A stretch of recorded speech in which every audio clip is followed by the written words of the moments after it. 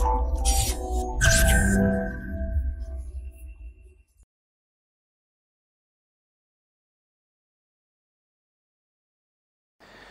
uh, hello everyone, uh, welcome back uh, to 2020 uh, PYQ discussion. And uh, as we are aware that uh, the official answer key of UPSC is not released yet. Okay. So, there may be few errors, ठीक है? But I will, uh, you know, uh, I have uh, uh, used my all wisdom to uh, see uh, what should uh, what could have been the right answer or what should be the right answer but there is always uh, chances very faint uh, probability of uh, you know uh, different perception of the reality ठीक है like uh, some questions in some questions UPSC may have its own uh, uh, way of looking at things and we may or I may have a different way of looking at things ठीक है तो because of that anomaly that uh, discontinuity there can be some errors ठीक है तो कुछ गलतियाँ हो सकती हैं तो उसके लिए अगर गलती हो जाए तो just consider it as my limitation ठीक है एंड माई मिस्टेक चलिए तो शुरुआत करते हैं प्रीलिम्स 2020 की। And see before moving forward I would like to tell you one thing that now there is a welcome change in entire question paper and the days of pure current affairs may not be very you know may not be very apt और may not be the very right way of approaching film ठीक है? तो थोड़ा सा जब भी आप अभी करंट अफेयर्स पढ़ रहे हैं तो I just request that you should look at things in more in depth ठीक है? Stop uh, mugging up the names of uh, various satellites and everything. जैसे सपोज़ क्वेश्चन अगर यूपीएससी पूछेगा आर्टेमिस मिशन के ऊपर तो दे विल नॉट आस्क कि Artemis mission किस कंट्री का है ठीक है? वो पहले जो बीच में अभी 2016 15 16 17 में 18 में पूछ रहे थे अभी वो नहीं पूछेगा। पूछेगा आर्टेमिस मिशन के ऑब्जेक्टिव्स के।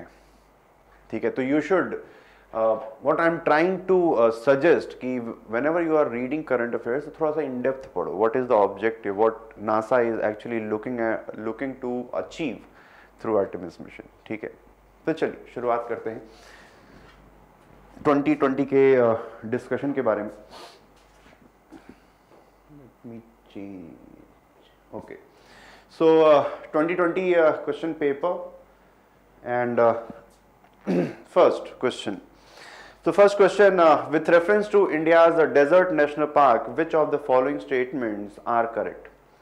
First it is uh, spread over two districts there is no human habitation inside the park it is one of the natural habitats of great Indian bustard. Okay?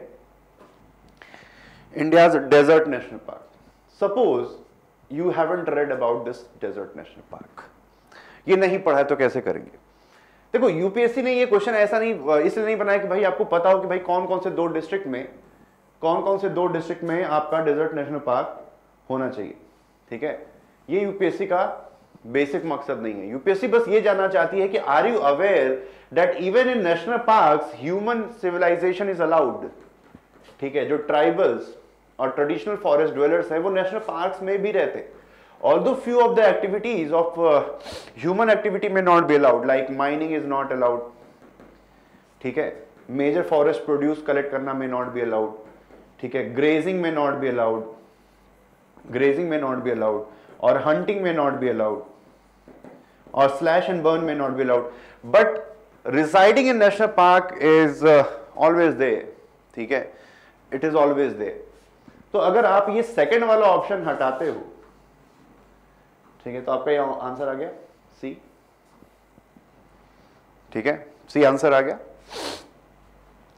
Great Indian bustard के बारे में already question uh, पूछे जा चुके हैं in the previous occasions as you know that it is uh, critically endangered and it uh, this is a heavy a very heavy bird uh, and uh, it is endemic to indian subcontinent it lives in the sindh province and gujarat and rajasthan it is also a state bird of rajasthan and critically endangered and generally the habitat of great indian bustard is uh, grassland ठीक है? तो सबसे बड़ा जो challenge आ रहा है great Indian bustard bustard का तो ग्रासलैंड को बेसिकली काट के ठीक है? ग्रासलैंड को काट के वहाँ पे खेती और एग्रीकल्चर के लिए चीज़ें हो रही हैं that has pose a danger to the the population of this great Indian bustard ठीक है? तो वेरी इंपॉर्टेंट टॉपिक इसको पढ़ लेना अच्छे से। Second is what are the advantages of fertigation in agriculture ठीक है fertigation ठीक है fertigation का मतलब क्या होता है fertilizer fertilizer ठीक है प्लस इरिगेशन यानी कि हम पानी में जो जिससे सिंचाई करते हैं जिससे इरिगेशन करते हैं if mix water plus fertiliser ठीक है तो पानी में इरिगेशन के थ्रू ही अगर हम फर्टिलाइज़र को पानी तक पहुँचाने की, पौधों तक पहुँचाने की कोशिश करते हैं दैट इज़ कॉल्ड फर्टिगेशन ठीक है? चलो। अब मान लो सपोज़ फर्टिगेशन नहीं पड़ा तो how we are going to solve this question तो जस्ट रीड इट फर्टिगेशन के बारे में पूछा गया एग्रीकल्चर में, भाई इसका मतलब है कि हमें जनरली देखना है कि इसके एडवांटेजेस पूछे तो इसके पॉजिटिव एडवांटेजेस देख लेते हैं। Controlling the of irrigation water is possible yes increase availability of nutrients to the plant is possible तो पॉसिबल तो कुछ भी है. Yes reduction in the leaching of the chemical nutrients is possible yes ठीक है पॉसिबल ये भी है. अब इस सेकंड वाला स्टेटमेंट यहाँ पर कैच आता है. There is a catch in second statement see efficient application efficient application of rock phosphate and all other phosphatic fertilizer is possible. अब इस स्टेटमेंट को ध्यान से पढ़ो। यूपीएससी चाहती तो ऐसे ही पूछ सकती कि थी कि efficient application of fertiliser is possible लेकिन इसमें देखो फॉस्फेटिक सब फर्टिलाइज़र के बारे में पूछा गया। तो कुछ कुछ गड़बड़ है, कहने का मतलब है। ठीक है? अगर सिर्फ़ यूपीएससी चाहती कि आपको वो ये जानना है कि फर्टिलाइज़र का एफिशिएंट यूटिलाइजेशन हम कर सकते हैं with the help of fertigation methodology तो सीधे ये दे देता कि with the help of fertigation we can efficiently utilise all this things and everything ये सब अपने आप दे देता। ठीक है? फर्टिगेशन दे देता आसानी से। पर वो नहीं हुआ। ठीक है फर्टिगेशन यहाँ पे नहीं हुआ है, यहाँ पर हुआ है यहाँ पे दिया है rock phosphate phosphatic fertiliser and rock phosphate ये सब यहाँ पे वर्ड दिया गया efficient application of rock phosphate या मतलब ऐसा स्पेसिफिकली यूपीएससी बोल रहा है कि not other fertilisers but only the rock phosphate तो अगर आपको नहीं पता कि जो फॉस्फेटिक फर्टिलाइज़र होता है they are not water soluble तो भी अगर आप थोड़ा सा कॉमन सेंस लगाओगे तो still you can look in to you can you can try कि भाई कुछ तो गड़बड़ है, इसमें स्पेसिफिकली फॉस्फेटिक फर्टिलाइज़र पे क्यों ही फोकस किया जा रहा है? ठीक है? तो स्पेसिफिकली फर्टिलाइज़र इसके ऊपर फोकस कर रही यूपीएससी ठीक है? तो थोड़ा सा एनालाइज करोगे, थोड़ा सा कॉमन सेंस यूज़ करोगे तो इसको आप एलिमिनेट कर सकते हो। भाई, ये कुछ अलग से ही दिया हुआ है। देखो, जब भी, हमेशा याद रखो कि जब भी स्टेटमेंट में आपको कुछ भी गड़बड़ लगे, दाल में कुछ भी काला लगे, और जितना ही स्टेटमेंट स्पेसिफिक होता जाए उस स्टेटमेंट के गलत होने की प्रोबेबिलिटी ज़्यादा होती है, ऐसा मैंने बताया। तो अब देखो, यहाँ पे कितना स्पेसिफिक पूछा है। सिर्फ़ फर्टिलाइज़र की बात नहीं की जा रही है। It is asking a particular kind of fertiliser ठीक है? तो जानबूझ के उस स्टेटमेंट को it has deliberately made this statement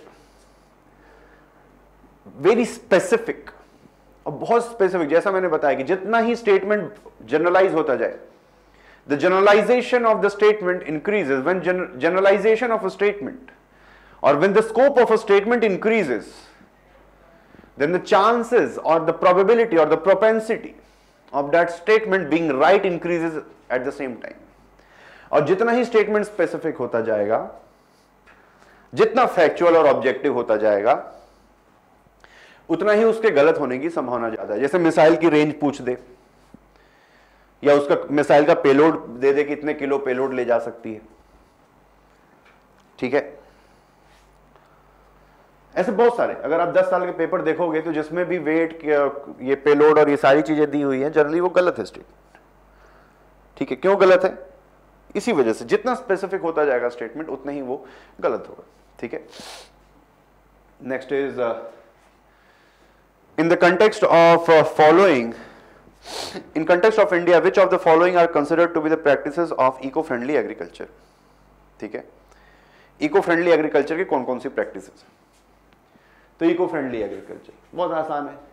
Crop diversification legume intensification tensiometer use vertical farming ठीक है? Eco friendly agriculture practices crop diversify जितने अलग अलग टाइप के क्रॉप्स लगाएँगे। अगर नहीं भी पता है, फिर भी आप सोच सकते हैं, भाई लेग्यूम लगाना अच्छी बात है। पढ़ाई होगा राइजोबियम और ये सब के बारे में। वर्टिकल फ़ार्मिंग पढ़ा होगा, हो सकता है टेंसियोमीटर ना पढ़ा हो। ठीक है क्रॉप डाइवर्सिफिकेशन जितनी अलग अलग टाइप की मोनोकल्चर आपने पढ़ा होगा। मोनोकल्चर इज़ नॉट गुड ठीक है monoculture why monoculture is not good because अगर कोई भी एक बीमारी लगेगी किसी भी फ़सल को तो पूरी फ़सल खराब हो जाएगी। But diversification when we are growing more than one crop तो the risk factor will decrease and it will also help in preserving fertility of the soil ठीक है? तो ये वन टू और फोर अब वन टू और four सही है। अब थ्री तो अलग से तो कोई स्टेटमेंट दिया नहीं। अगर टेंसियोमीटर के बारे में नहीं भी पता है, लेकिन फिर भी अगर हमें पता है कि one two and four is right then still we can mark the right answer ठीक है? आसान था। अब अगला सवाल है। सोलर वाटर पंप के ऊपर पूछा है। Statement is saying solar power can be use for running surface pump but not for submersible pump solar power can be used for running centrifugal pump, but not the not the ones with piston. Power तो power है power तो neutral होती है। बिजली से तो आप कुछ भी चला सकते हैं। बिजली से पंखा भी चला सकते हैं। बिजली से आप, ट्यूबलाइट भी जला सकते हैं।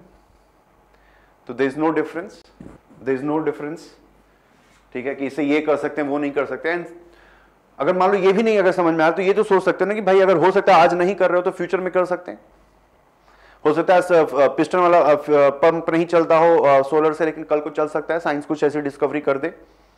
Because it is always evolutionary and since it, it is evolutionary then there are always the prospect of uh, you know uh, new discoveries new new innovations तो कभी भी कोई हो साइंटिफिक चीज़ हो तो कभी भी आप ये दावे के साथ नहीं कह सकते कि ये चीज़ नहीं हो सकती या ये कर सकता है ये नहीं कर सकता इट कैन ऑलवेज डू ठीक है? इट कैन ऑलवेज डू तो सोलर पंप है भाई क्यों नहीं कर सकता है?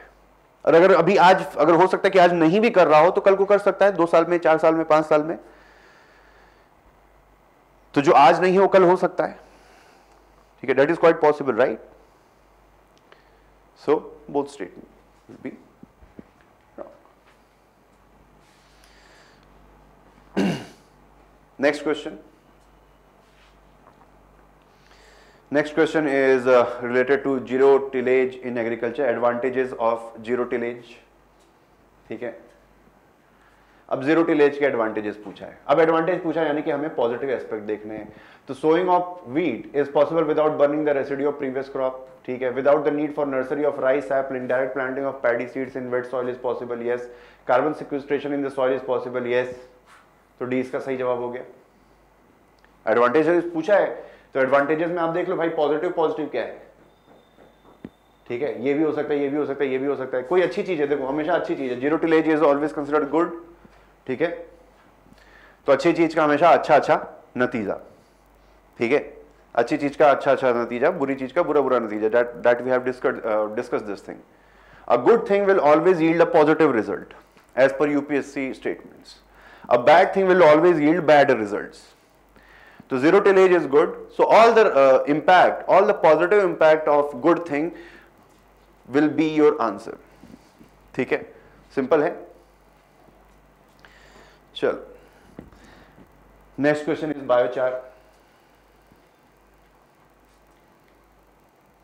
what are the use of uh, biochar in farming biochar uh, can be used as a part of growing medium in vertical farming biochar uh, when biochar is part of the growing medium it promotes the growth of nitrogen fixing microorganism when biochar is part of the growing medium it enables the growing medium to retain water for longer time अब उसमें भी वही देखो biochar क्या है is a good thing ठीक है positive चीज़ है तो स्टेटमेंट में जितने भी पॉजिटिव चीज़ें होंगी सारे इसके जवाब होंगे ठीक है biochar can be use part of the growing of the medium for vertical farming yes positive statement है सेकेंड स्टेटमेंट भाई नाइट्रोजन फिक्सिंग माइक्रो ऑर्गेनिज्म की ग्रोथ को बढ़ावा देगा, ये भी पॉजिटिव स्टेटमेंट है।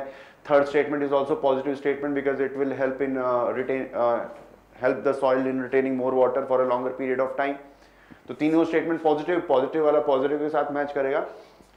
D will be our right answer ठीक है? बस थोड़ा सा पता होना चाहिए। देखो यूपीएससी नेवर एक्सपेक्ट कि that you should know all the dimensions और एवरीथिंग ऐसा कुछ रटना नहीं है। बस यूपीएससी ये चाहती है कि ओके यू आर अवेयर कि व्हाट इज़ बायोचार ठीक है? बायोचार एक अच्छी चीज़ है, अगर इतना भी पता है। Biochar is good biochar is farmer friendly eco friendly thing बस इतना अगर पता है, ठीक है? तो ये आसानी से क्वेश्चन कर सकते हैं। UPSC is not expecting you कि आप सब कुछ ये रट के बैठे और और सारी चीज़ें पता करके बायोचार के कहाँ कहाँ पर वॉट आर द यूजेस नहीं है किसी बुक में आपको मिलेगा। ठीक है? अभी मतलब बुक में क्या पढ़ोगे? ठीक है बुक में क्या क्या पढ़ोगे?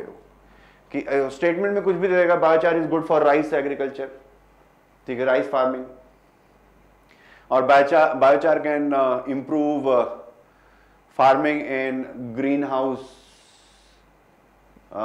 greenhouse agricultural field और greenhouse rooms for farming biochar और दूसरा, या तो स्टेटमेंट ये देते biochar is good for for horticulture तो सब कुछ पढ़ना पॉसिबल नहीं है राइट right? क्योंकि बहुत सारे डायमेंशन हो सकते हैं। बुक में आप बस इतना ही जान सकते हो और कोचिंग कैन ओनली टीच कि भाई व्हाट इज़ बायोचार उसका ओरिजिन क्या है? उसका कहाँ से बायोचार आता है? और you, it is your responsibility to understand the positive uses of biochar ठीक है तो अगर इतना पता है तो आसानी से कर सकते हैं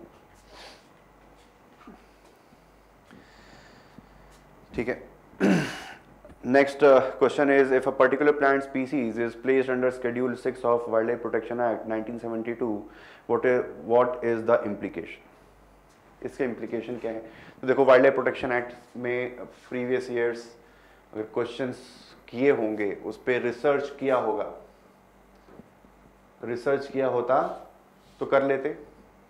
पूछा था ना वाइल्ड लाइफ प्रोटेक्शन एक्ट में के बारे में already they have asked in like one और टू ओकेजन्स पिछले दस साल के पेपर अगर आप देखोगे तो एक दो ओकेजन में वाइल्ड लाइफ प्रोटेक्शन एक्ट के बारे में पढ़ पूछ चुका है।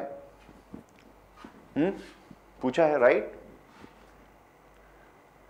तो that is very common sensical that it is going to be asked again तो ये देखो license is required to cultivate that plant such a plant cannot be cultivated under any circumstances Italy it is genetically modified crop plant such a plant is invasive and harmful to the ecosystem ठीक है? तो इसमें देखो, इसमें, इसको solve करने का यही तरीका है भाई। प्रीवियस ईयर्स क्वेश्चंस का रिसर्च करना ज़रूरी है that is the takeaway next is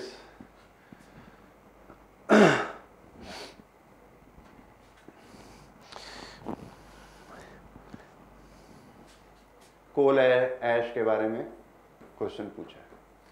coal ash के बारे में question already previous years questions में पूछा जा चुका है। फिर से वही सवाल है। तो कोल ऐश के अंदर आर्सेनिक लेड और मरकरी होता है।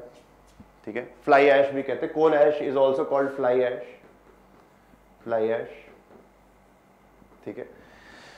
तो इसमें हैवी मेटल होता है हाँ होता है। कोल फायर देखो coal ash is not a good thing ठीक है? इतना बस पता होना चाहिए। Coal fired power plants release sulphur dioxide and oxides of nitrogen into the environment आसान है। High ash content is observe in Indian coal ठीक है? Indian coal is high on ash low in sulphur low in sulphur ठीक है?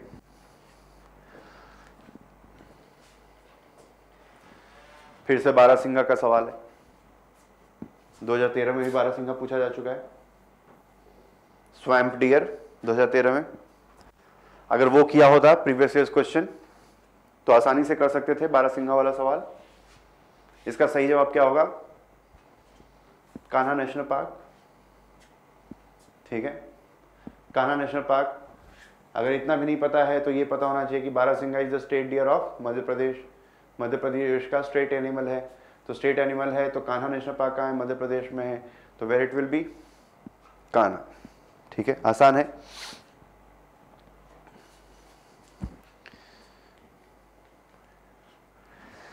Next question is steel slag steel slag can be the material for which of the following construction of the base road improvement of the agriculture soil production of cement steel slag basically steel बनने के बाद जो slag बचता है that is called steel slag जो steel uh, बनाने की factories होती हैं blast furnace and all this thing then iron from iron steel is made और स्टील स्लैग तो स्टील स्लैग का क्या क्या यूज़ हो सकता है? भाई रोड बनाने के काम आ सकता है? यस एग्रीकल्चरल सॉइल को इंप्रूव करने के लिए आ सकता है? यस सीमेंट बनाने के लिए यूज़ हो सकता है? यस देखो सेकंड वाला स्टेटमेंट में थोड़ा सा एक इशू ये है कि steel slag have heavy metals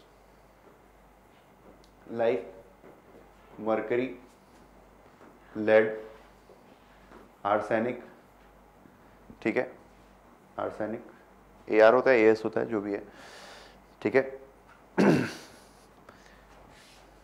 तो these are the different heavy metals which are present and some there are chances that if we mix steel slag with the soil then these heavy metals may enter the food chain और these heavy metals may you know mix with the water bodies or uh, may also uh, leach into uh, groundwater and it may contaminate the groundwater but still steel slag can be added to the soil because it contains a few nutrients which is good for agriculture which is good for the crops okay so all the three statements will be right अब देखो how to solve such type of question Musk deer. ऐसे questions को कैसे solve करना होता है? देखो, ऐसे क्वेश्चंस को सॉल्व करने का एक सबसे आसान तरीका बताता हूँ। ऐसे क्वेश्चंस को सॉल्व करने का सबसे इजी तरीका यह है कि always look for those wildlife sanctuaries और national park which are continuous और which are at located at the same place जैसे हमने पिछले बार देखा था there was a question related to lion tailed macaque तो उसमें क्या क्या ऑप्शन था? ऑप्शन वॉज़ गिवन भाई, केरल है then the Kerala, Tamil Nadu, Karnataka and Maharashtra. ठीक है, ऐसा चार ऑप्शन दिया, नहीं, महाराष्ट्र नहीं था, ठीक है, Maharashtra was not the option one was Andhra Pradesh Andhra Pradesh. तो इसमें देख लो भाई, वेस्टर्न घाट जो है, ये तीन स्टेट से क्रॉस होता है। आंध्र प्रदेश में वेस्टर्न घाट नहीं है। यहाँ पर जाके वेस्टर्न घाट खत्म हो जाता है। केरल के तमिलनाडु के छोटे से हिस्से में वेस्टर्न घाट आता है, उसके बाद वेस्टर्न घाट का एंड हो जाता है। तो अगर लाइन टेल मकाऊ यहाँ पर है तो भाई वो इधर भी कूद के जा सकता है। है तो बंदर, पेड़ से फिर इधर भी जा सकता है। It can jump from Karnataka to Kerala then from Kerala to Tamil Nadu ठीक है? तो ये जो तीनों स्टेट है दे आर कॉन्टिन्यूस एंड उनके बीच में कॉमन क्या है? वेस्टर्न घाट देखो लॉजिक का यूज़ करो। जो भी आप पढ़ते हो, बस दिमाग खुला रखो। इतना सब कुछ पढ़ा है। ज्योग्राफी में हम पढ़ते हैं, भाई वेस्टर्न घाट इन इन स्टेट्स में जाते हैं तो try to use that knowledge blind मत हो जाओ। After seeing the question don't get blinded कि भाई, अरे यार, ये तो पढ़ा ही नहीं। लाइन मकाओ के बारे में तो पढ़ा ही नहीं है। खोजो खोजो, दिमाग के घोड़े दौड़ाओ। ठीक है? Look try to uh, you know introspect try to uh, uh, try to look at each and every possible dimension. हर लॉजिक दौड़ाओ दिमाग वो करो। आएगा जवाब उसी में छुपा होता है। यूपीएससी के क्वेश्चन की ब्यूटी यही है कि it is it does not look for the knowledge it look for the logic which you are going to apply ठीक है तो लॉजिक लगाओगे तो आंसर निकल जाएगा। तो सेम वही लॉजिक यहाँ लगाना है। अब मानस नेशनल पार्क देखो, गंगो मस्क डियर पूछा है, ठीक है? मस्क डियर पूछा है। तो भाई, मस्क डियर देखो, मानस और गंगोत्री तो हो नहीं सकता, क्योंकि गंगोत्री चलो, अब देखो, और किसी का नाम नहीं सुना होगा, लेकिन मानस जानते हैं, हम गंगोत्री जानते हैं, ठीक है? मानस और गंगोत्री एक साथ नहीं होगा, ठीक है? तो ये हट जाएगा। अब मस्क डियर है तो जनरली पहाड़ों पे हमने देखा है, ठीक है? पहाड़ों पे देखा है तो फोर वाला ऑप्शन हट जाएगा। ठीक है, होगा तो गंगोत्री में तो फोर वाला ऑप्शन हट जाएगा। ठीक है, फोर वाला ऑप्शन हट जाएगा।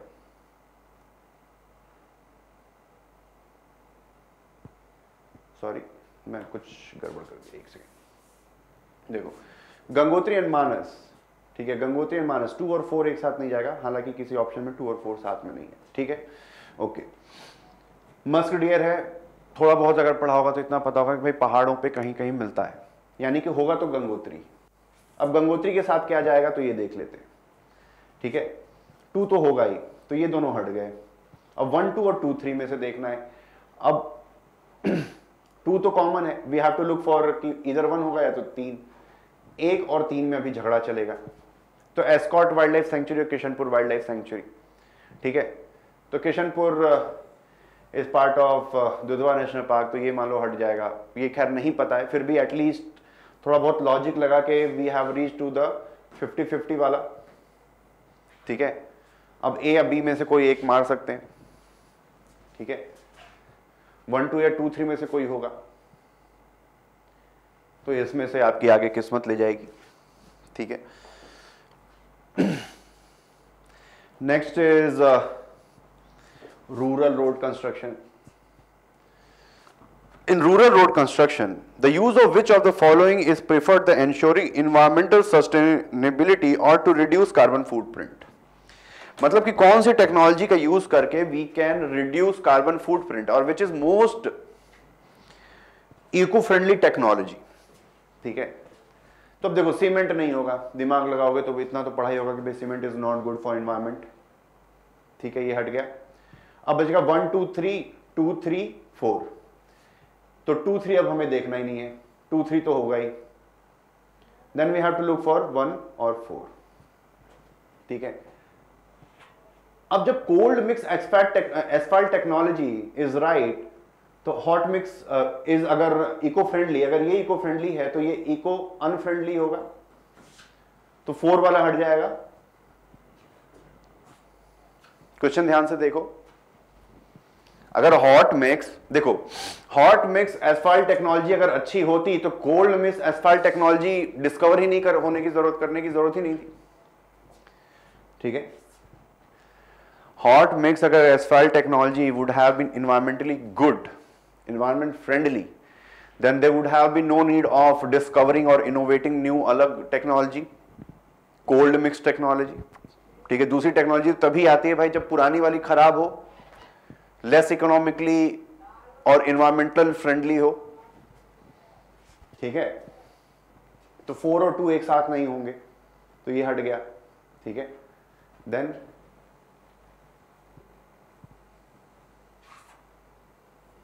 one two and three A is our right answer थोड़ा सा दिमाग लगाओगे, सब कुछ आएगा। थोड़ा सा समझदारी दिखाने की ज़रूरत है। Just try to look different dimensions सारे डायमेंशंस को देखोगे hot mix cold mix hot mix technology है, यानी कि गर्मी, गर्म करेंगे गर्म करेंगे तो भाई कुछ चीज़ जलानी पड़ेगी। ठीक है? You have to burn something in order to make it hot and whenever you are burning then either you are using biomass or you are using coal or some other kind of fuel which you are consuming or even if, you are using electricity then uh, again it is uh, due to some uh, source from uh, it may be natural gas or it may be nuclear or it may be nuclear energy or it may be coal based thermal power station तो hot mix तो नहीं होगा ठीक है hot mix तो नहीं होगा तो कोल्ड मिक्स होगा ठीक है आसान था चलो अगला देखते हैं। In the case of all cereal pulses and oil seeds the procurement at minimum support price is unlimited in any state union territory of India In the case of cereals and pulses, the MSP is fixed in any state or UT at a level to which the market price will never rise. ठीक है अब इस statement को पढ़ो। Just try कि भाई कौन सी चीज़ इस if you read the language in the case of all cereals pulses and oil seeds The procurement at minimum support price is unlimited in any state or union territory of India. Unlimited procurement है भाई, किसी भी राज्य में, कहीं भी। ठीक है? तो कोई भी बात जो है, यहाँ पर बहुत ही दावे के साथ वेरी असर्टिव स्टेटमेंट तो जो भी दावे के साथ बात कही जाती है जनरली गलत होती है। ठीक है? In the case of cereals and pulses, the msp is fixed in any state or union territory at a level to which the market price will never rise. हर राज्य में, हर किसी राज्य में विल नेवर राइज यहाँ पर भी बात बहुत दावे के साथ कही जा रही है तो both of the statement the chances of both of the statement being wrong is quite high ठीक है? अब वही बात है कि आप कितना भी देखो, अब कितना भी एमएसपी पढ़ लो, ठीक है देर में भी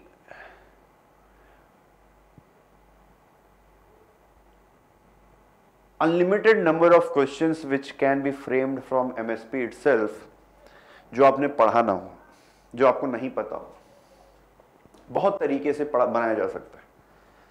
ठीक है? तो नॉलेज का खेल नहीं है। खेल यहाँ पर है थोड़ा सा कॉमन सेंस लगाने की बात का। कॉमन सेंस अप्लाई करेंगे तो होगा। नहीं करेंगे तो नहीं होगा। Okay the next question is under the Kisan credit card scheme बहुत बहुत ही सुंदर क्वेश्चन है। Very beautiful very nice question अब देखो क्वेश्चन को पढ़ो। Under the Kisan credit card scheme short term credit support देखो यूपीएससी ने सिर्फ़ किसान क्रेडिट कार्ड स्कीम नाम नहीं दिया। यहाँ पे एक हिंट भी छुपा है short term credit support short term अगर क्वेश्चन सिर्फ़ यूपीएससी को आपको नॉलेज चेक करना होता तो यूपीएससी वुड हैव फ्रेम कि what of the for which of the following purposes Kisan credit card schemes can be utilised किन किन पर्पज के? लेकिन यूपीएससी यही तो बात है कि मैं हमेशा कहता हूँ क्वेश्चन ध्यान से पढ़ो। यहाँ पर भी देखो कि पूछा है हिंट दिया है शॉर्ट टर्म क्रेडिट सपोर्ट अब गलती क्या करते हैं कि हम तुरंत क्या करते हैं कि we just read okay under the Kisan credit card scheme okay ठीक है। किसान क्रेडिट कार्ड स्कीम पढ़ा, फिर शॉर्ट टर्म क्रेडिट सपोर्ट ये सब जो ना, हमारा दिमाग बंद है। अब हमारा दिमाग किसान क्रेडिट कार्ड पे बस फंस गया है। जो अगली लाइन हम भले पढ़ने को तो पढ़ते हैं बट वो अपने दिमाग में रजिस्टर नहीं करते हैं while we are sitting in in the exam Kisan credit card scheme का नाम सुनते ही हम सोचने लगते हैं अच्छा अरे यार, इतना सब कुछ पढ़ा। किसान क्रेडिट कार्ड के बारे में नहीं पढ़ा। ठीक है, अब किसान क्रेडिट कार्ड में क्या था क्या था क्या था, ये सारे दिमाग में चलता रहेगा। आप ये नहीं देखोगे कि उसमें एक हिंट छुपा हुआ है, जिससे आपकी सारी जो समस्या है और जितनी भी व्यथा है, उसका निदान हो सकता है। ठीक है? A very very nice line short term credit support और यही जो वर्ड है, वो इस आंसर को सॉल्व करे। वही इस आंसर की चाबी है, कुंजी है। इस ताले की जो कुंजी है, वो that is the short term credit support अब शॉर्ट टर्म क्रेडिट सपोर्ट इसका मतलब ये है purchase of harvester tractor mini truck ये तो नहीं होगा। शॉर्ट टर्म के लिए भाई लोन दे रहे हैं। अब हार्वेस्टर करोड़ों रुपए का होता है ट्रक और ये सब भी लाखों के होते हैं। ठीक है? तो शॉर्ट टर्म तो नहीं होगा। तो दो वाला स्टेटमेंट जैसे ही हटाओगे बी वाला जवाब आ जाएगा। आसान था। क्वेश्चन बस पढ़ना था, समझना था। क्वेश्चन पढ़ो। बार बार कहता हूँ क्वेश्चन पढ़ो। बहुत ध्यान से क्वेश्चन पढ़ो। दिमाग से ज़्यादा अपने नॉलेज और अपनी पढ़ाई से ज़्यादा कॉमन सेंस का यूज़ करो। ठीक है? कॉमन सेंस प्लस और मैं ऐसा भी नहीं कहता, वो कॉमन सेंस भी पढ़ाई पर ही थोड़ा सा डेवलप होता है। ठीक है ऐसा नहीं है। आउट ऑफ़ कोई डार्क में मतलब जिसने यूपीएससी की तैयारी नहीं की है और बहुत समझदार बहुत तेज तर्रार और बहुत चालू आदमी है बहुत चालाक आदमी है उसको मैं अगर ये सारी चीज़ें बता भी दूँगा तो भी उसका पेपर क्लियर नहीं होगा। क्योंकि that common sense the premise of common sense is based on the knowledge which you have acquired through this prolong process of your preparation the hard work which you have put in okay it cannot be uh, uh, it cannot be that common sense cannot be the found uh, cannot be foundationless. ठीक है? It is always based on some kind of premise ठीक है? उसके किसी theme के ऊपर based common sense भी चलता है। ठीक है? तो ये वाली बात है। पढ़ाई ज़रूरी है। Knowledge is always knowledge will knowledge is forever govern ignorance and those who want to govern themselves should equip them self with the knowledge of uh, with the power of common sense. ठीक है? Anyways आगे चलते हैं।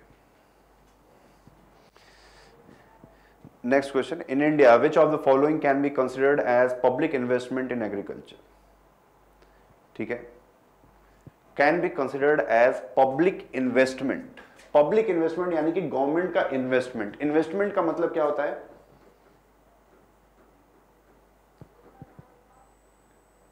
Investment का मतलब है इसका कुछ रिटर्न आएगा।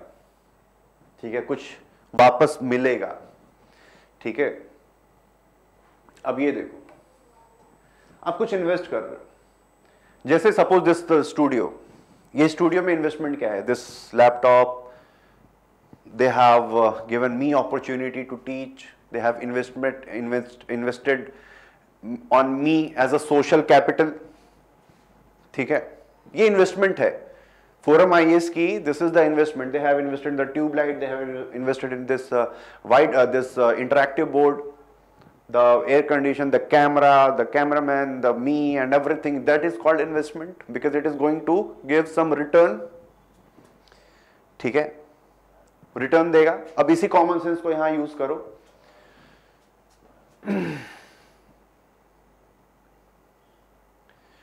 Fixing minimum support price for agriculture produce of all crops अब इस कोर्स की मान लो जो फ़ीस है, जो लोग that is not the investment right तो गवर्नमेंट जो एमएसपी करती है that is not the investment हट गया। Computerisation of primary agriculture credit society computer लगाए सब कुछ चीज़ें that is investment social capital development me और camera team support and everything वो इन्वेस्टमेंट है। Free electricity supply to farmers अगर ये इस कोर्स को किसी मतलब कुछ स्टूडेंट को फ्री दे दिया जाए तो that is not the investment तो ये भी इन्वेस्टमेंट ये इन्वेस्टमेंट नहीं है। Waiver of agriculture loan by the banking system ठीक है, ये भी इन्वेस्टमेंट नहीं है। Setting up of cold storage facility by the government cloud storage जहाँ पर आप ये वीडियो देखेंगे cloud storage that is an investment तो इन्वेस्टमेंट क्या क्या हो गया? Two, three and six. ठीक है? सीज ऑन और आंसर ठीक है? आसान था।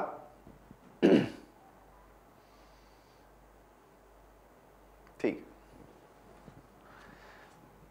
These are these things are required I generally ये बात आ गई तो जब just on a you know non academic note I would like to say there are many uh, like uh, they're commenting that is very high and everything subscription but uh, it it is uh, if, if you uh, break down the, all these things then that uh, that is what it is required that is very reasonable khair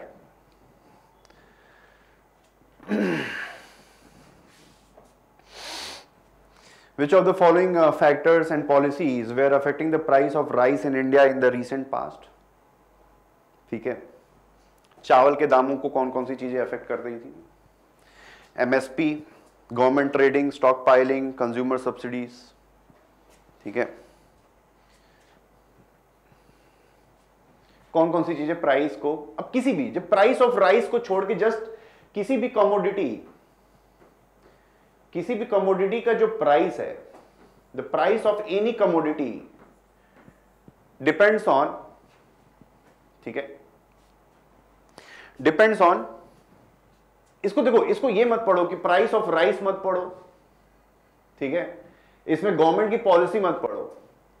Just try to read this statement from the context कि भाई कोई भी commodity है, what are the factors which is going to impact the price of that commodity? ठीक है? तो भाई MSP करेगा ही करेगा। गवर्नमेंट ट्रेडिंग, गवर्नमेंट, अब ये कुछ लोग एक्स्ट्रा दिमाग लगाते हैं, भाई गवर्नमेंट तो सिर्फ़ स्टॉक पाइल करती है ट्रेडिंग तो काम तो प्राइवेट सेक्टर करता है। तो ये दिमाग नहीं लगाना है कि गवर्नमेंट ट्रेडिंग करती है कि नहीं करती है, कि प्राइवेट सेक्टर सिर्फ़ करता है, नहीं करता है। भाई ट्रेडिंग तो सब लोग करते ही हैं। गवर्नमेंट भी ट्रेड करती है, यहाँ से इसको उठा के उधर दिया उधर दिया, या कोई पीएसयू को दिया something some form of trading will always be there by the even by the public sector तो जस्ट इस क्वेश्चन जब ऐसा कोई भी क्वेश्चन आया करे तो उसको एक जनरलाइज तरीके से पढ़ लिया करो। जनरलाइजेशन से। इसको कंप्यूटर उसकी तरफ़ राइस और ये सब मत पढ़ो कि भाई चावल के दाम के लिए या सरकार की पॉलिसी के लिए इस हिसाब कंटेक्स में मत पढ़ो। किसी भी कमोडिटी का प्राइस कैसे वेरी होता है, कैसे चेंज होता है? एमएसपी दे दो गवर्नमेंट अगर ट्रेड करे तो उससे होगा गवर्नमेंट स्टॉक फ़ाइल करे कंज्यूमर की सब्सिडी हो जाए। कंज्यूमर को कम दामों पे दे दो। ठीक है? तो उसका प्राइस वेरी करेगा, ठीक है? तो D will be our right answer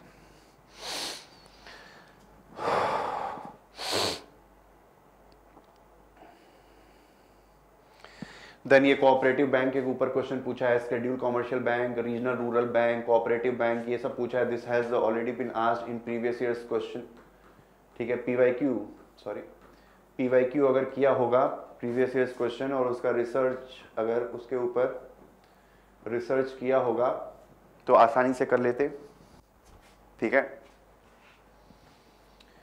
चलो, आगे चलते। With reference to the international trade of India at present which of the following statement is are correct ठीक है?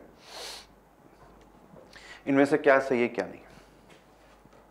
India merchandise export are less than is its merchandise import पता नहीं। India's import of iron steel chemical fertiliser machinery have decrease in recent past पता नहीं।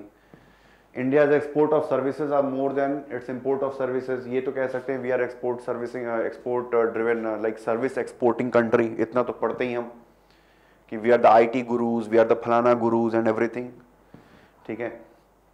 तो तीसरा सही होगा। तो ये दोनों हट जाएँगे। अब three only one three four ठीक है? India suffers from an overall trade current account deficit ये भी सही है। ठीक है? आजकल न्यूज़ में रहता है कि कैड इंडिया का बढ़ रहा है। तो डी आ गया आंसर ठीक है?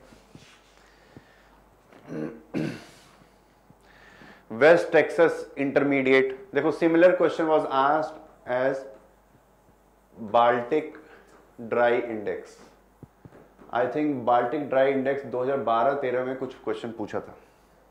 इन 2012 और 13 तो अगर ये बाल्टिक ड्राई इंडेक्स के ऊपर आपने रिसर्च किया होता you should have come you know you should have come across this this term also ठीक है बाल्टिक ड्राई इंडेक्स पढ़ते तो फिर जहाँ पढ़ते, फिर आपको पता चलता कि नहीं बाल्टिक ड्राई इंडेक्स के अलावा there other mechanism to you know to to for the price realisation of crude oil ठीक है?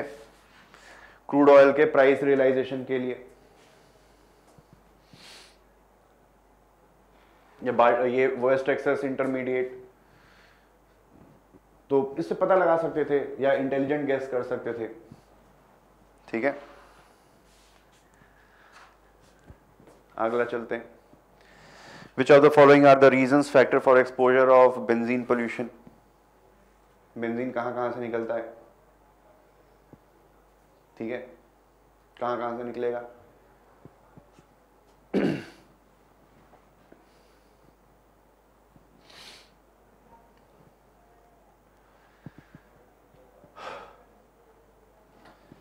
देखो, अगर सिगरेट से निकलेगा तो लकड़ी से भी निकलेगा।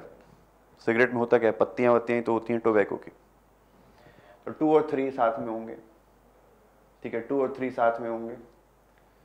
तो ए और डी में से कुछ बचा। ठीक है? तो वन कॉमन है। टू और थ्री होंगे ही। ठीक है? टू और थ्री होंगे तो हमारा आंसर आ जाएगा D such question are always asked and such question in order to solve such question it is very important it is very important in that you should be very thorough with carbon cycle nitrogen cycle phosphorus cycle sulphur cycle water cycle ठीक है? ये सारे जितने भी cycles हैं, जितने भी cycles हैं, वो आपको पता होने चाहिए। ठीक है, आपको पता होगा कि भाई बेंजीन पोल्यूशन है। ठीक है तो बेंजीन भाई टोबैको कहाँ से आता है? फिर ऑटोमोबाइल उसमें जो तेल है, वो कहाँ से आता है? तेल बनता है उससे, फिर तेल कैसे होता है? फिर वुड लकड़ी है। ये ये सारी चीज़ें ना everything will be very thorough with with you अगर ये थोड़ी साइकिल्स के बारे में आइडिया रहे तो। Again next question is carbon nano tubes carbon nano tubes के ऊपर क्वेश्चन पूछा जा चुका है। They have asked question about graphene in previous occasions ठीक है? ये करंट अफेयर्स में भी नहीं पढ़ सकते आप because that was you know that was in news in 2012 13 this carbon nano tube तो they can be the carbon nano tube के बारे में पूछा है तो इस क्वेश्चन को कैसे कर सकते हैं? फ्यूचरिस्टिक टेक्नोलॉजी इसके लिए भी हो सकता है, इसके लिए भी हो सकता है, इसके लिए भी हो सकता है, इसके लिए भी हो सकता है। ठीक है?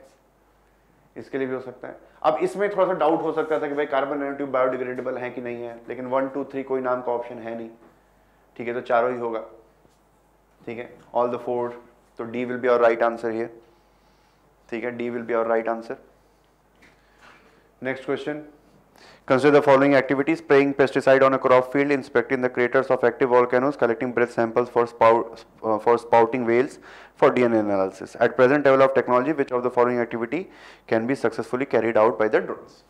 अब drones है ये तो कर सकते हैं ठीक है ये भी कर सकते हैं भाई अब देखो इसमें यूपीएससी ने ये कैच खोला है कि भाई ये जो फ्यूचरिस्टिक टेक्नोलॉजी वाला जो फंडा है मैं सीधे यही दे देती हूँ कि आज तक जितनी डिस्कवरी हुई है, उसके हिसाब से बताओ। तो दो क्वेश्चन में यूपीएससी ने ऐसा किया। एक तो आर्टिफिशियल इंटेलिजेंस वाले क्वेश्चन में ऐसा किया, क्योंकि यूपीएससी को लगे कि भाई सब लोग यूज़ कर रहे हैं आजकल। मतलब फ्यूचरिस्टिक टेक्नोलॉजी है मतलब कि सब कुछ। ये बड़ा मतलब कि कॉमन हो गया है तो एक काम करते हैं, कुछ गेम खेलते हैं। तो यूपीएससी ने ये डाल दिया। इस क्वेश्चन में भी ये दिया है कि current level of development and even in artificial intelligence question the same statement that one clause was added, one uh, condition was added, present level of development. ठीक है?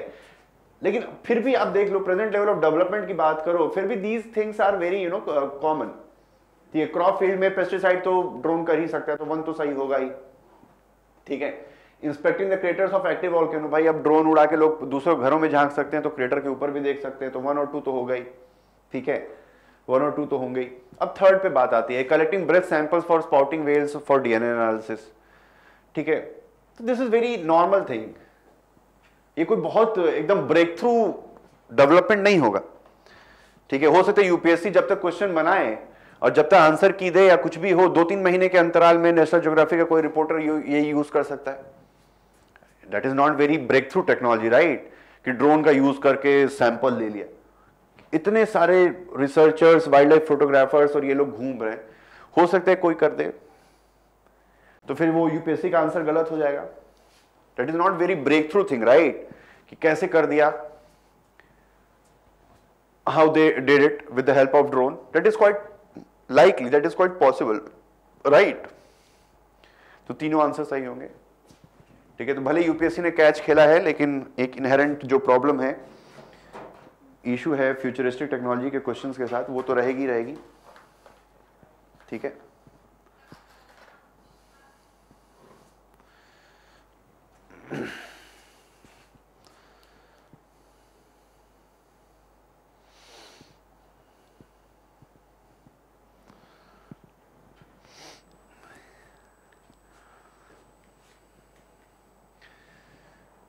Genetic changes can be introduced in cells with uh, that produce eggs or sperms in prospective parent. Yes.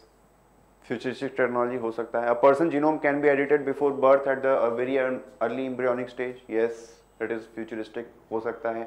Human induced pluripotent stem cell can be injected into embryo of a pig. Yes, that is also quite possible. That is also futuristic technology. तीनों ही possible है. Science है हो सकता है इंसान का जानवर pick के अंदर इंसान का सुअर के अंदर सुअर का इंसान के अंदर everything is possible all this permutation combination is possible nowadays I P stem cell से क्या कर रहे हैं? इंट्रोड्यू इंड्यूस प्लूरिपोटेंट सेल से। They are basically stem cells into pigs so that uh, organs can be harvested through this uh, through uh, cattle and everything. Human organs वहाँ पे उसके पे, जानवर के ऊपर ह्यूमन ऑर्गन्स को डेवलप कर दिया। कि जो सुअर का जो दिल है, वो इंसान जैसा ही है, एकदम वैसे इंसान ही। तो जब भी इंसान को ऑर्गन ट्रांसप्लांट की ज़रूरत पड़े then from that pick that can be use तो although it is a very ethically wrong thing to do but science is you know science is sometimes ethically neutral ethical neutral zone ठीक है?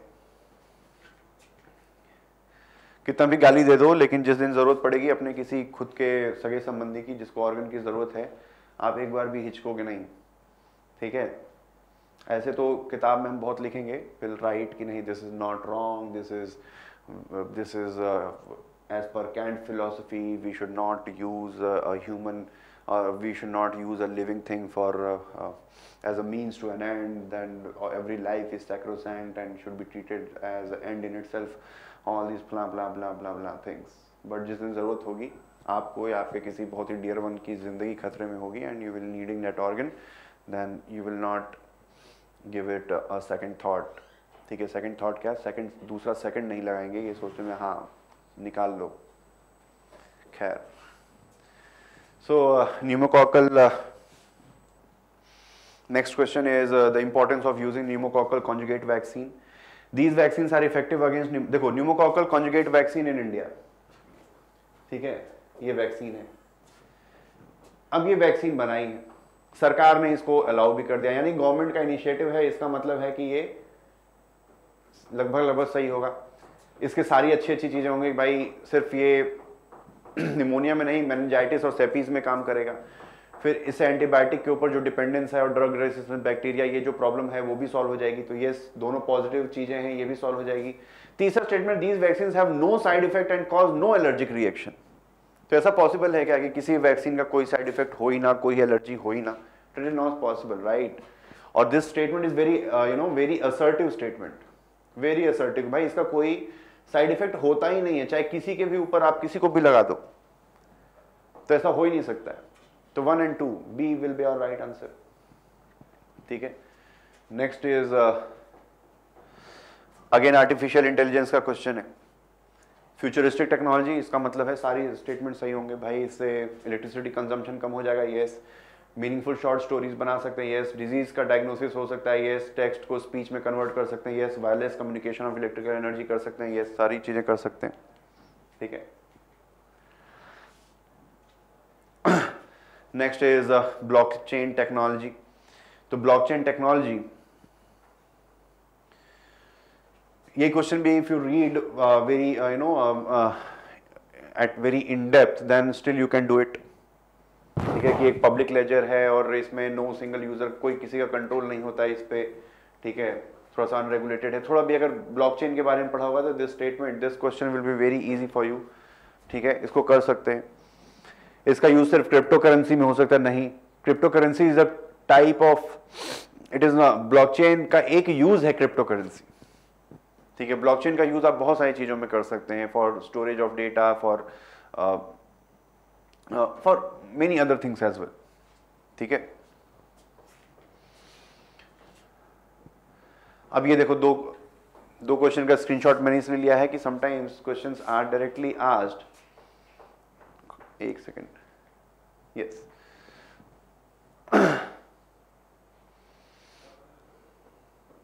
indigo cultivation India decline ये भी NCERT से direct पूछा गया है, ये भी एनसीईआरटी से ज़्यादा डायरेक्ट पूछा गया है, ठीक है? तो एनसीईआरटी हमेशा पढ़नी है। NCERT should you should always read NCERT and these both questions have been asked in previous occasion in UPSC ठीक है? उन उलगुलन। बिरसा मुंडा के ऊपर क्वेश्चन आ चुका है, पहले भी यूपीएससी में। इंडिगो कल्टीवे इंडिगो के ऊपर भी सवाल पहले भी यूपीएससी में आ चुका है।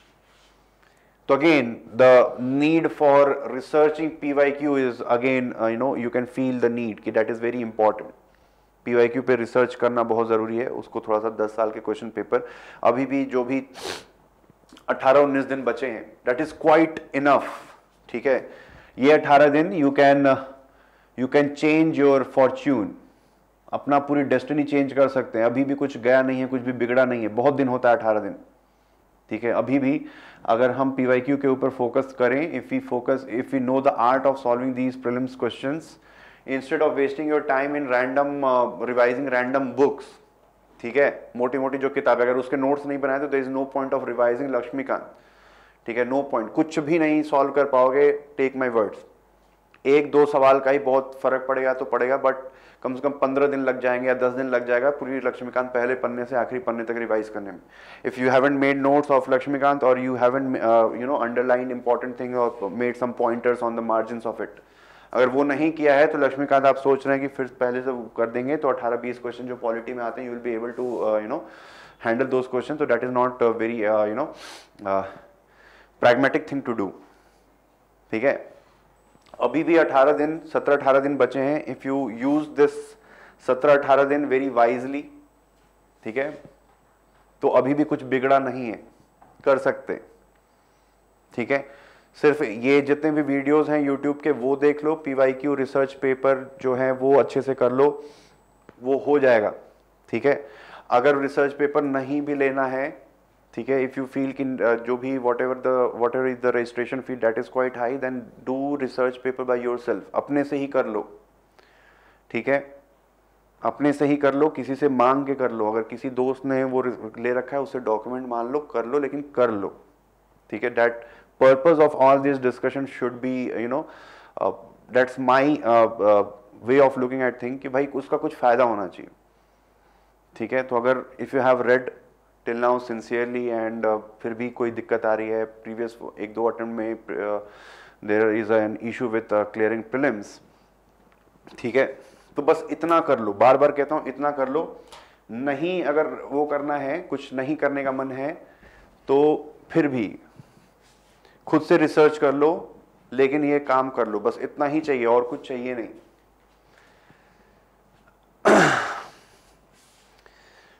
नेक्स्ट क्वेश्चन अब चलो ये दिया है। इतना बड़ा सा ये दिया। देखो, अब यहाँ पे एक फंडा लगेगा। मैं हमेशा कहता हूँ कि जब भी कुछ समझ में ना आए, जब भी कुछ बुद्धि ना लगे, ठीक है? जब भी उस क्वेश्चन में लगे कि यार ये क्वेश्चन कैसे करें तो हमेशा फ़र्स्ट अटेम्प्ट वाले स्टूडेंट की तरह सोचो। Always think like a very you know very fresher always think like a fresher and use your naive logic तो फ़र्स्ट अटेम्प्ट वाला स्टूडेंट इसका कौन सा आंसर मार्क करेगा? वही आंसर आप भी मार्क कर दो, वो सही हो जाएगा। फ़र्स्ट अटेम्प्ट वाला स्टूडेंट क्या करेगा? उसको कुछ नहीं पता है। वो पढ़ेगा कि अच्छा ठीक है, ये धर्म वर्म के अच्छे के बारे में कह रहा था, फिर उसको ये पता भाई अशोक बहुत अच्छा राजा था, बहुत ही अलग अलग धर्मों को काफ़ी रिलीजियस टॉलरेंस थी एंड वो बहुत सारी इंस्क्रिप्शन बनवाता था, बहुत सारी चीज़ें, ये सारी चीज़ें अशोक के बारे में अच्छा अच्छा उसको पता है। बाकी उसको समुद्र रूप के बारे में नहीं पता, हर्षवर्धन के बारे में, कृष्णदेव राय के बारे में उतना नहीं पता है लेकिन अशोक के बारे में उसने पढ़ रखा है। ठीक है? तो फ़र्स्ट अटेम्प्ट वाला student will always mark Ashoka ठीक है? तो आप भी वही मार्क कर दो। गलत भी हो सकता है, पर सही होने के चांसेस ज़्यादा ठीक है? सही होने के चांसेस ज़्यादा है। तो mark A and you will get the right answer next question is hundi system ठीक है? अगला जो क्वेश्चन है, वो हुंडी सिस्टम के ऊपर है। ठीक है, ये एनसीईआरटी में डायरेक्ट दिया हुआ है। It is directly given in NCERT ठीक है? अगर एनसीईआरटी में नहीं किया है तो कई बार क्या है? मेंस आई थिंक मेंस 2018 में इसके ऊपर क्वेश्चन पूछा था। गिल्ड और ये सब हुंडी और ये सारी चीज़ें। ठीक है?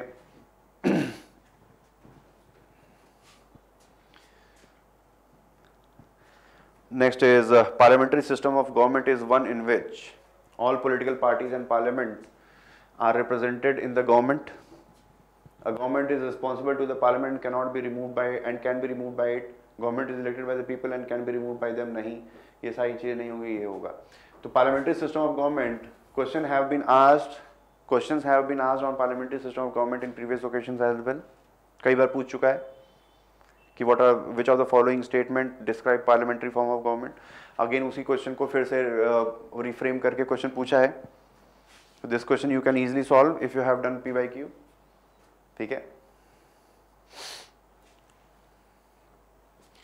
तो this was all about twenty twenty discussion ठीक है? And we uh, have uh, we actually uh, there was initial there was a plan that this 2020 discussion will be giving on uh, as a subscription like those who register for the course only for to them.